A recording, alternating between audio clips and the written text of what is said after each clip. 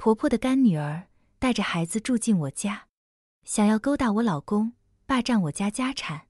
结果我能听到她的心声。婆婆咳嗽，她表面关心，实则内心别死这么早。银行卡密码我还不知道。我要出差，她热心的帮我收拾东西，实则内心机会终于来了。晚上我就爬上阿宇的床，让他把你踹了。啊，让我教教你做人的道理。一晚上我和婆婆逛街回来，一个抱着孩子的陌生女人出现在家门口，脚边还放着个行李箱。我和婆婆相视一眼，纷纷摇头。陌生女人看到婆婆后，泪眼弯弯地叫了声“干妈”。婆婆怔了下，才恍然想起，是小静啊。周静是婆婆的干女儿。听说小时候两家来往密切，后来长大些，周静就不怎么喜欢来婆婆家玩。几年前去外地上了大学，更是彻底跟他们一家断了联系。婆婆连忙去开门，周静应该等得有点久，抱着孩子的手发抖。我想了想，好心上前替她接过孩子。周静躲了下，眼神不善的上下打量我。婆婆回过头看到这一幕，热切的介绍：“这是我儿媳妇。”你与哥哥的老婆李思思，周静脸色僵硬了瞬，悄悄的拿眼瞪我，随即带了点恨意的将孩子塞进我怀里。我就莫名其妙。等我安顿好孩子出来，两人坐在客厅沙发上聊天。你回过家了吗？婆婆把削好的苹果递给周静。回回了。周静眼神闪躲，我哥不让我进门。那你爸妈的事？提到他那去世的爸妈，周静忽然垂下头，泪如雨下。他说自己遇人不淑，碰到家暴男，对方没收他手机，限制他外出，心情不好，拳打脚踢更是家常便饭，因此才没接到家里的消息。我靠着墙，细细的打量他，脑袋上缓缓冒出个问号，就冲他瞪我那两下，可不像任人揉捻的样子啊。二。周静说她是偷偷跑出来的，加上长久没工作，身无分文。婆婆作为她的干妈，没理由将人送出去。在征询了我和老公的意见后，让她暂时住了下来，好好把孩子带好。你哥那边我会帮你说说的，亲兄妹哪有什么隔夜仇？周静听了后迟疑了下，不急。我，她不想早点回家吗？婆婆知道我有严重的睡眠障碍。特意将周静和小诺安排在距离主卧最远的客卧，可架不住小诺夜里时常哭闹，即便间隔的远，我还是会每天被他的哭声吵醒。又一次半夜醒来，想着反正睡不着，就披了件衣服去阳台吹风，结果一回头看到周静充满恨意的眼神，一下一下拍打孩子脑袋，我整个人都傻了，抬步就要去阻止他，可等我到他房间时。他又换上了一副慈母的模样，见到我就惊恐的哭。是不是孩子吵到你了？对不起，都怪我没用。越哄他哭得越凶。思思，你要骂就骂我吧，孩子小，什么都不知道。婆婆听到声音也跟了出来，看到一大一小哭的伤心，连忙跑去安抚。周静还在对着我一个劲的道歉，我呆愣的杵在门口，真无语。他妈给无语开门，无语到家了。婆婆私下跟我说，她哥那边有松口的迹象，应该过不了几天就能搬回去。哎，要不是看他可怜，我也不会留下他。这段时间你没睡好吧？婆婆平时待我不错，想着跟周静也没几天相处，我自然不能让她为难。三，然而，我从周一盼到周五，把我那出差半个月的老公都盼回来了，周静哥哥那边却毫无动静。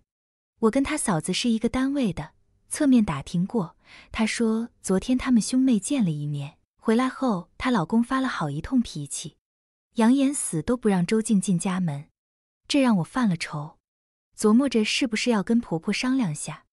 恰巧婆婆端着鸡汤推门进来，我买了只乌鸡给小静补身体，知道你不喜欢喝，但里面放了野山参，给你送一碗过来。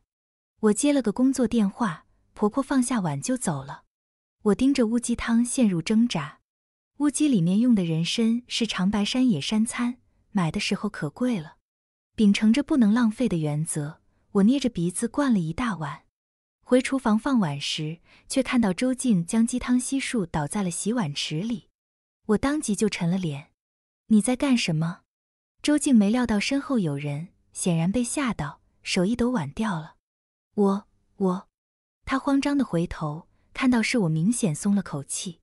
我快步走上前，冷着脸指着里面的瓷碗：“你要是不喜欢，可以直接说，这样践踏别人的好意，婆婆知道的多伤心。败家子，那可是野山餐啊！”面对我的指责，周静没有丝毫愧意。孩子的尿不湿掉里面，脏了就倒了。我，那你紧张什么？我有点不相信。我有紧张吗？他朝我撇嘴：“那是被你吓的。”大吼大叫，也不知道阿宇哥怎么看上你的。我，我不舒服的拧紧眉。这不是我第一次见识周静的两副面孔，当着婆婆跟徐宇的面，亲切的叫着我嫂子。只有我们两人时，他就跟换了个人似的，态度恶劣。先前我一直不明白他敌意的来处，此刻我隐隐有了猜测。四，我还没开口，周静突然热情起来。抢走我手中的保温杯，非要给我接热水。与此同时，我听到了他的心声：“死老太婆没安好心，那么一碗油腻腻的鸡汤，想胖死我呀！”周静接好水递给我时，脸上带着笑意，心声却是：“阿宇不是夸这双手好看吗？等会我就毁了他。”他怎么知道？昨晚徐宇说这话是在我们亲密的时候，趁我震惊之际。一整杯滚烫的开水浇了下来，我反应已经够快了，还是没有完全避开，手背迅速红肿起来。我忍着疼痛，下意识寻找水龙头。哎呀，都红了，肯定很疼吧？要不你打我泄愤吧？周静掐住我受伤的手，把脸往我面前递，灼痛感骤然加剧，手都给我疼麻了。我怒意噌的一下上涌，拔高了音量：“周静，给我放开！”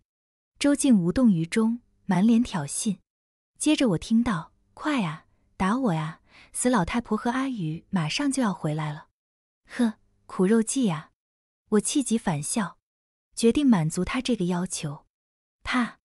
我扬起手，力道有点大，下手有点狠，打得周静脸都偏倒向一边。与此同时，开门声响起，徐宇和婆婆进了厨房。周静戏精附体。扑通一声，给我跪了。漂亮的小脸梨花带雨，哭的那叫一个委屈，惹人怜。思思，我错了，我真的错了。你打我骂我，让我做什么都可以，求求你不要赶我走，好不好？五，周静还是有点表演天赋在身上的，可惜徐宇连一个眼神都没给他，越过他来到我身边，看到我白皙手背上的伤，抿紧唇，一言不发的拽着我回了房。阿宇哥。有什么话好好说，不要怪思思。周静仰着盈盈水眸，善解人意地说，心里却得意的哈哈大笑。不自量力的李思思，天降怎么比得过青梅？阿宇哥果然最喜欢我了，他肯定会在房间把李思思那个贱人骂哭，想想就好开心啊。其实我也有点好奇的，青梅跟老婆闹矛盾，我这直男癌老公会怎么处理？你不问问情况？我试探开口。观察徐宇的表情，哼！徐宇发出一声冷哼，认认真真的帮我涂抹伤口。有什么好问的？肯定是周静那个搞事精的错。要是错的人是我呢？我老婆做什么都是对的。不愧是我的亲亲老公，永远选择无条件站在我这边。我笑嘻嘻的抱住他脑袋吧唧一口，在房间腻歪了会，我们去了客厅。周静抽抽搭搭的跟婆婆在诉说委屈，思思，只要你跟我道歉。她话还没说完，视线落在我和徐宇十指紧扣的双手上，神情凝滞。我对着她微微一笑，不用我开口，徐宇就对了过去。道什么歉？我看该道歉的人是你吧？思思打我，打你怎么了？周静被对得哑口无言，心里却在骂我。李思思这个贱人，刚才在房间肯定给阿宇哥灌迷魂汤了。很快他就镇定下来，柔柔弱弱的咬着唇，不着痕迹的撩了下头发，右脸上五根手指印清晰可见。我笑着点点头，对自己的杰作很满意。我没有爸妈疼，哥哥也不管我，要不是干妈好心收留，我和孩子就要流落街头了，是我给你们添麻烦了，受点委屈也是应该的。周静一字三哽咽，啧啧啧，这茶言茶语。今年奥斯卡没你我不看。徐宇刚哄我吃了口木瓜，刀眼直接刺了过去。我们家不爱喝绿茶，我没忍住，扑哧一声笑了出来。周静脸都青了。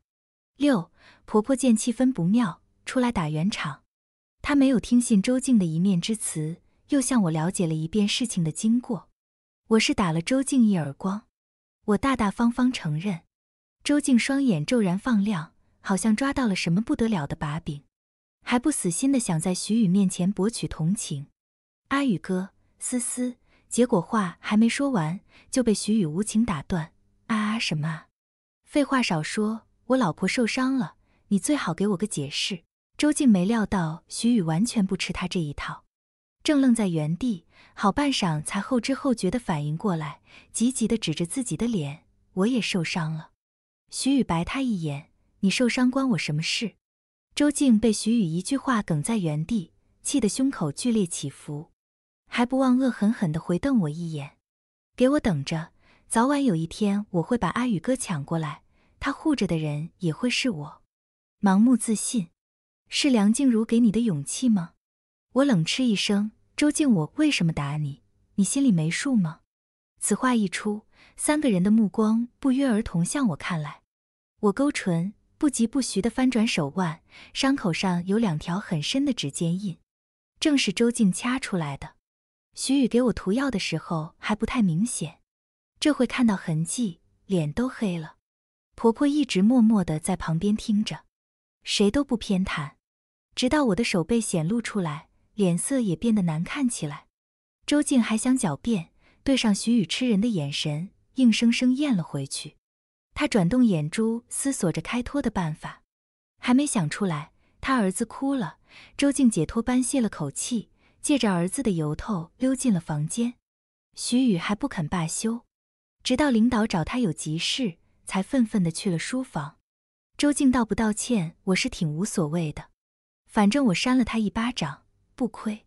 眼下最重要的是如何把人给弄走。七，周静躲在房间里一天都没出来吃饭，估计是没脸见人。我乐得清静。晚上追玩具去厨房给婆婆熬梨汤，恰巧碰上从里面出来的周静，她手上端着一碗冰糖雪梨。干妈咳嗽，我给她炖的。她得意的朝我挑眉，想炫耀什么？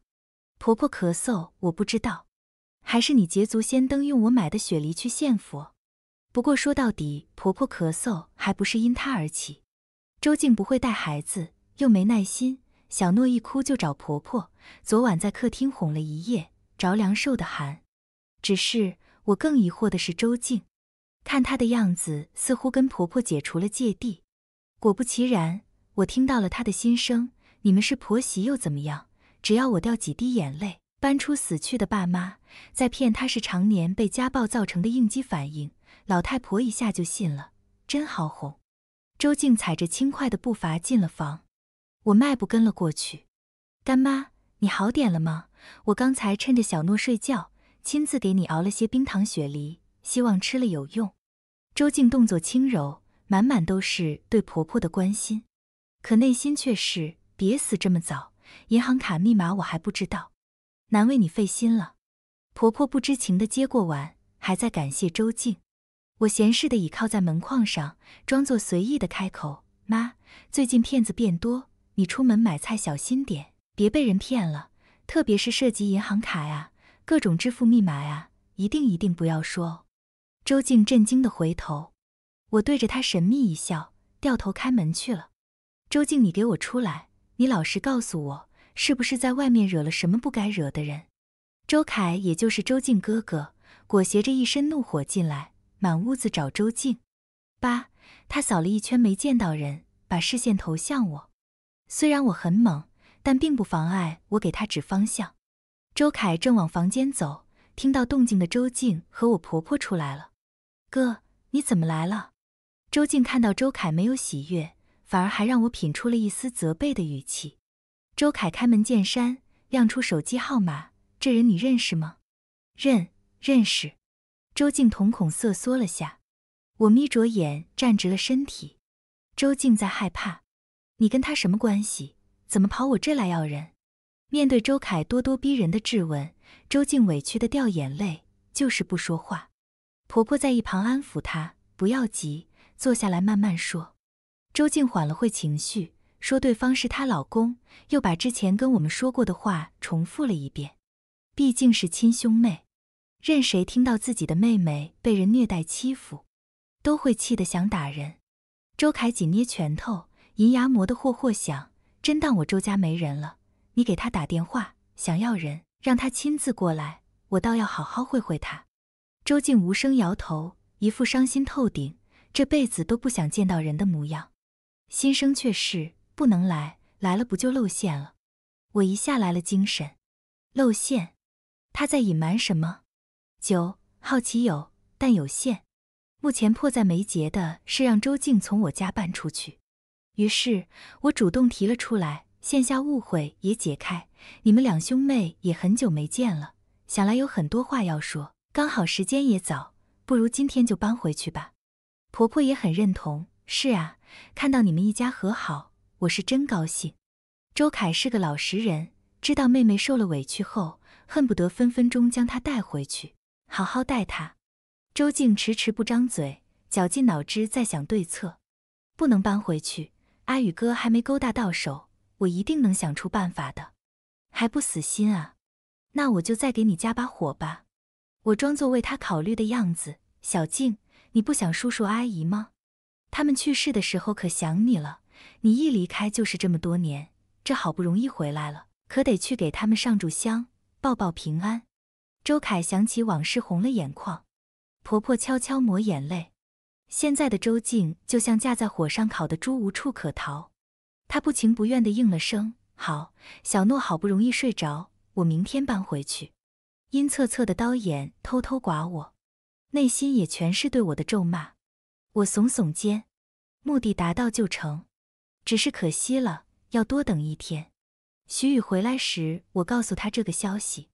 他说周静以前在学校风评就不好，还老黏着他，跟狗皮膏药一样。美美的睡了一觉。想到周静马上就要从我家离开，这心里就跟冒泡一样美滋滋的。在外面逛了会街，我算着时间回的家，结果婆婆告诉我周静走不了了。我十就是这妖巧。早上起来，周静和小诺都发烧了。我第一反应，他又在搞什么幺蛾子？毕竟昨天我还听到他不想回去的。我带着满腹疑虑去了他房间。周静在床上玩手机，是周凯送来的。听婆婆说你和小诺生病了，我走近他，小诺在睡熟，圆圆的小脸蛋红扑扑的。周静不知道在跟谁聊天，见到我后心虚的藏了下。与此同时，我也看到他额头贴着的退烧贴。是啊，今天搬不了了。周静洋洋得意。我仔细观察了下，他眼神清明，说话中气十足。乃像个高烧不退的病号，不相信？来摸摸，烫的。他勾唇，把手臂往我面前递，我还真探了下，滚烫的触感。我深深的看了他一眼，百思不得其解。转身正要出去，耳边突然传来周静的心声：“蠢货，我用了两个暖手宝，肯定是烫的，还想赶我走，门都没有。”我了然，没有急着拆穿他。而是找来在厨房给周静熬粥的婆婆。妈，我在网上看到受寒引起的发烧药武汉，这被子太薄了，换床厚的吧。周静慌了神，我快步走过去，不由分说的掀开被子，把周静从床上拎起来，还真在她屁股下看到了两个暖手宝。呀，这里怎么有两个暖手宝？我假装惊讶住。周静意识到事情暴露。还试图扑进去掩藏证据，开玩笑，我会给他机会吗？我用胯骨拱了他一下，率先拿到暖手宝。婆婆正在衣柜里找厚棉被，闻声回头，看到暖手宝，当场沉了脸。周静讪笑两声，我我也不知道暖手宝怎么在这，可能是小诺放的。婆婆气得脸都憋红了，要不是顾忌小诺在睡觉，都要张嘴骂几句。她真心对待的干女儿把她当猴耍。小诺一个几个月大的孩子能干这些？我抱怀在旁边看戏。周静泪眼婆娑的解释说，怕嫂子不好相处，不想回家，才出此下策。而且小诺发烧是真的，他像是抓住了一根救命稻草，看到了一丝转圜的机会。事实证明，小诺确实发烧了。外面雪越下越大，我低低的叹息一声。婆婆脸色缓和了些，但依然不好看。我没有再听到其他的声音。不过，周静这算是在婆婆心中种下了一颗不信任的种子。离开前，婆婆还发了话，等小诺好了。你们就搬回去住。十一，接下来几天，周凯儿子跟人打架，他忙得抽不开身，没过来看他。出乎意料的是，周静突然变得安分守己起来，不过却频繁的外出，每次回来都或多或少的带着点伤，整个人也变得焦躁不安。我是不可能关心他的，婆婆自从上次的事后，对他也冷淡了不少。但也有让我们忧心的事。小诺高烧一直反复不退，药也吃了，医院也跑了好几趟，却一直不见好转。婆婆坐在沙发上无心看电视，忧心忡忡的叹气。比起周静的淡定，婆婆是真的担心小诺。她找我商量，我想花点钱帮小诺做个全身检查，高烧烧的精神都萎靡不振，怪可怜的。我从手机上挪开视线，好，到时候我陪你们去。周静整天不着家，她是指望不上了。放着婆婆带孩子去，我也不放心。正聊着，周静从外面回来了，今天脸上挂了点彩，看伤口的样子像是被人打了。她眼神回避，这几天都躲着我，匆匆点了下头，就要回房。我出声叫住她，把要带小诺去医院的事跟她说了。周静明显心不在焉，敷衍点头。我却在这时听到了他的心声：“傻 X，我每天半夜给他洗冷水澡，全身检查又有屁用？阿宇哥已经好多天没回来了，这让我怎么勾引啊？那个男人给的时间不多了，我要想想办法。”我被他的一番话雷得外焦里嫩，怎么会有这么狠心的妈妈？十二晚上吃饭的时候，周静有意无意的打听徐宇什么时候回来。我往嘴里塞了口青菜，项目收尾了，待会就回来。周静扶着碗的手顿了下，面上不动声色，心里却欣喜若狂，哈哈哈！终于等到阿宇哥回来了，晚上我一定要拿下他。周静很自信，而她的自信来源于她买的药。但是我怎么会让我的亲亲老公吃药呢？于是我故意跟他透露，妈，公司临时安排出差。我等会吃完饭就要收拾东西去机场。婆婆小小惊讶了下，毕竟我从来不出差的。我朝她眨了眨眼，婆婆心领神会的没吱声，还叮嘱我路上注意安全。看着时间差不多了，我站起身去房间收拾衣服。周静挤了进来，前所未有的热情。思思，小诺睡觉了，我反正闲着也没事，帮你一起收拾吧。我没有拒绝她。还往旁边挪了挪，随之他的心声响起：“真是天助我也！等我把阿宇哥搞到手，就让他把李思思这女人踹了。”十三出差本来就是幌子，我假模假样的往箱子里塞了点东西，在周静殷切的目光中出了门。外面还在下雪，我没有离开多远，就近找了家咖啡店。一个小时后，徐宇到家，周静迫不及待去洗澡时。婆婆给我发来短信，我缓缓勾起唇角，鱼儿马上就要上钩了。我把箱子系在老板这，踩着雪花飞奔回家。婆婆借口头疼，提前睡了。徐宇从回来后就待在房间没出来。此时，周静意识到时机到了。大冬天的，身上只挂了几块布料。从房间出来前，先小心翼翼地查看了下情况，确定没人后，快速钻进厨房。再出来时，手里多了一杯牛奶，扭着腰肢，自信满满的敲了下徐宇的门，手刚碰上门就开了。他大喜过望，挺了挺胸，推门进去。我和婆婆在房间里看了全过程，婆婆气到一句话都说不出来。一开始我跟婆婆说周静给小诺洗冷水澡时，婆婆还将信将疑。在她看来，孩子是自己身上掉下来的肉，虎毒还不食子。当妈妈的再狠心，也不可能伤害自己的孩子。现在亲眼看到她的行径，婆婆是彻底相信了。徐宇没在房间，周静发现不对劲就会出来。我们过去吧。我提醒还陷在气愤中的婆婆，不给她抓个现行。周静是不会承认的。婆婆回过神，气冲冲地往外走，引狼入室啊！今天我非得将她赶出去。十四房间里面黑暗一片，只有卫生间传来微弱的灯光。床上拱起来一大块，周静用被子蒙着脑袋，听到动作误以为是徐宇来了。阿宇哥，思思没在家，我怕你冷，特意过来帮你暖被窝。娇滴滴的声音软绵无力。嗲得我起了一层鸡皮疙瘩。婆婆沉着脸按下开关，房间瞬间明亮起来。周静等了会，从被窝里探出个脑袋来，看到是我和婆婆，吓得花容失色，尖叫出声：“怎怎么是你们？我真是眼瞎，摊上你这么个不知廉耻的人！”婆婆气到发抖：“干妈，不是你看到的这样。”周静还在极力辩解：“我呸！”别叫我干妈，我也是有脸有皮的人。她骂完，伸手去扯被子，看到周静暴露的穿着，硬生生止住了。婆婆回房给周静拿衣服，徐宇从卫生间出来，咧着嘴求表扬：“你老公我演的不错吧？你演啥了？你就一工具人。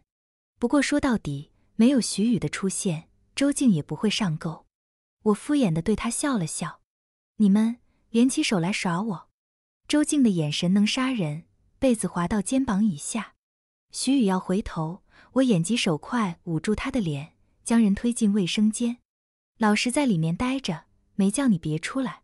十五，周静磨磨蹭蹭换好衣服来到客厅，他哥周凯已经到了，快点过来。周凯瞪他一眼，颇有点恨铁不成钢的感觉。你呀你。糊涂啊！要不是夏姨念着父母的情分，好心收留你和小诺，你早流落街头喝西北风去了。你怎么能干出这种丑事来？我的脸都被你丢尽了。周凯是真的嫌丢人，从进门开始一直羞愧的不敢抬头面对婆婆。周静坐在周凯旁边，沉默不言，气得周凯要动手打他。你是不是脑子有病？错的又不是我，是他们联起手设计我。周静丝毫没意识到错误，还吼得理直气壮。周凯眼里满是不敢置信，脸红脖子粗。你婆婆适时出声，你们兄妹的事情，你们自行回家去解决。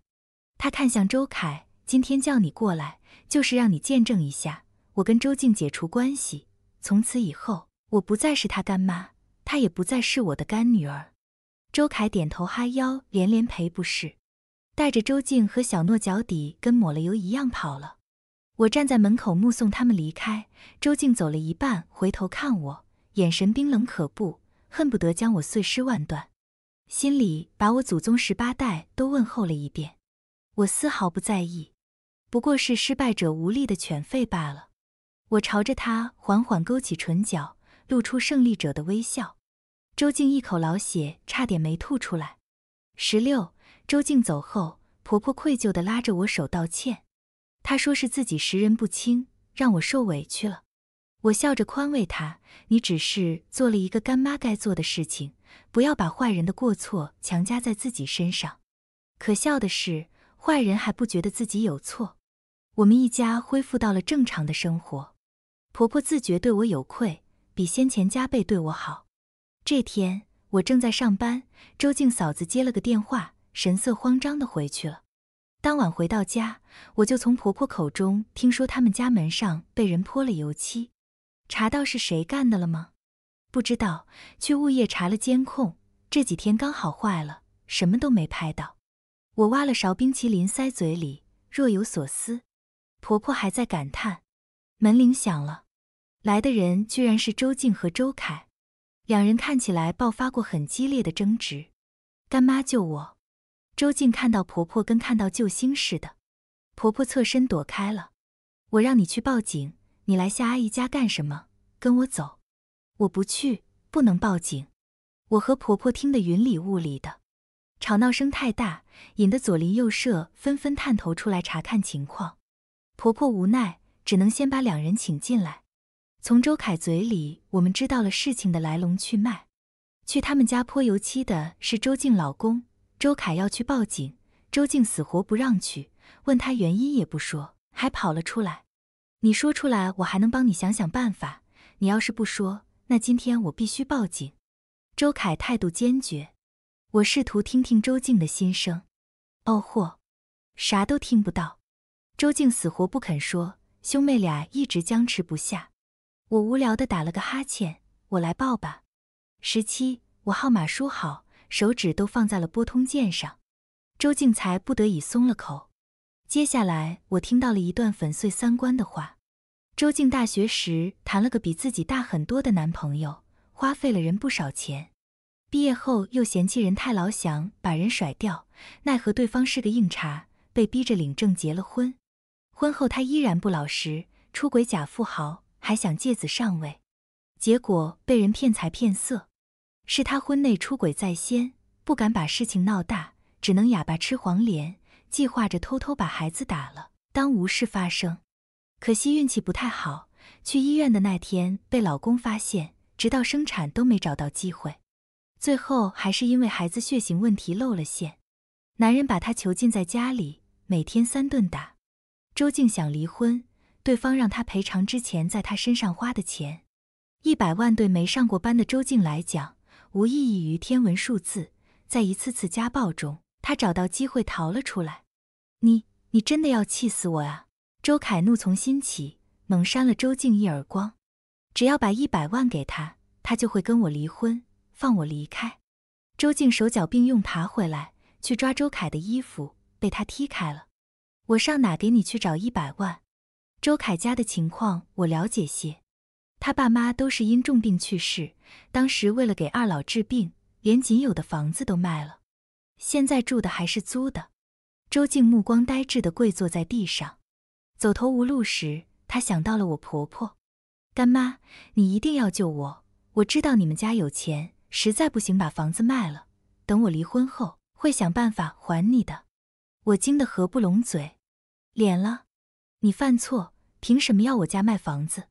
气着气着，我就笑了，脑袋突然灵光一闪，悟出了点什么。疯了，疯了，都疯了！婆婆离他远远的，看他的眼神跟见了鬼似的。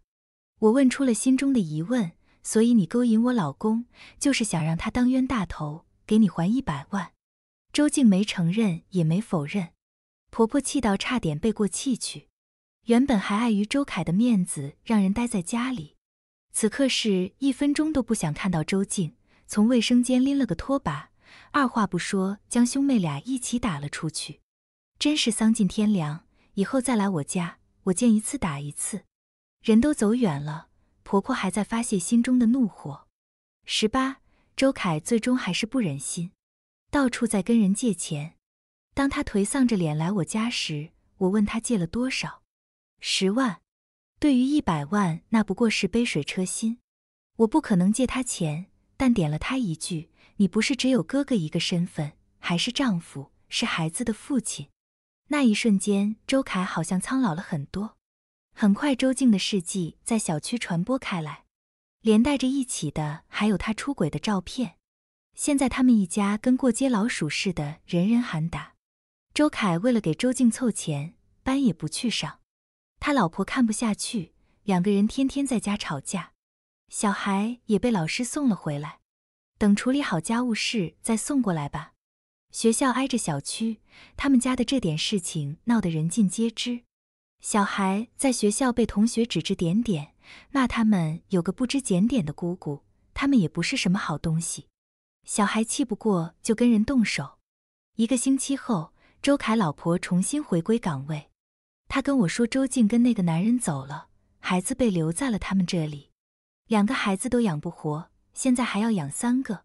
他把周静里里外外骂了一遍，不过也算给周凯留了个念想，慢慢的从那件事里走了出来。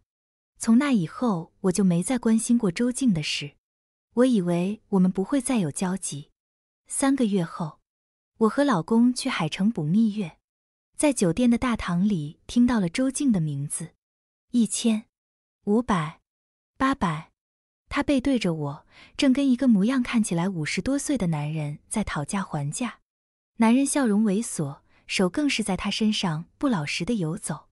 最后两个人像是谈妥了，相拥着进了电梯。电梯门关上的瞬间，我和周静四目相对。她化着浓妆，却依然可见被打得乌青的眼角。见到我，平静的像个陌生人。徐宇拍了下我的肩膀：“看什么了？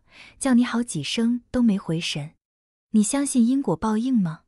我无厘头的来一句，挽着他的胳膊往外走。徐宇还特认真的想了下，相信。